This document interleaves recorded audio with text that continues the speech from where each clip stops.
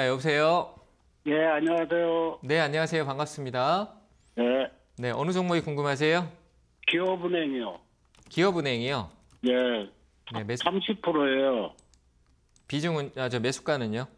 이 12,000원에 30%예요. 네, 어떤 점이 궁금하세요? 아, 작년 10월 달에 그 매입했는데 네. 매수가까지 올 수 있는 거에서요. 네, 올 수 있어요.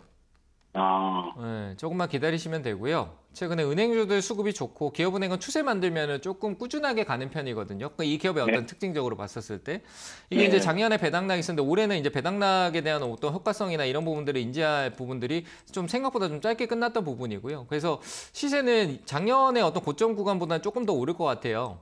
어, 코로나 네. 때 이후에 관점에서 주가가 아직 오른 적이 없었는데 기업은행은 제가 봤을 때는 지금 현재 매수가 근처까지 가는 부분에서는 문제가 없고요. 조금 더 오를 수 있는 부분이 있을 것 같으니까 홀딩 하시고요.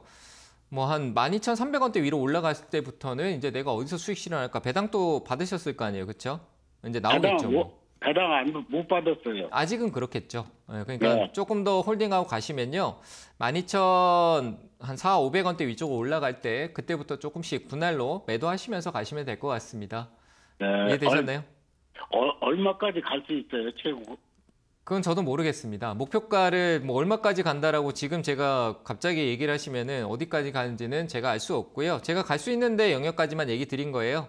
확인할 제가 확률적으로 높은 가격은 12,300원대 위쪽으로 올라갈 때 어떤 이슈로 어떤 분위기로 갈지를 예측할 수 없기 때문에 분할 매도 대응을 하셔라라고 얘기를 드리는 겁니다. 자, 아, 참고하시고 대응하시면 될 것 같습니다. 예, 예. 네, 감사합니다.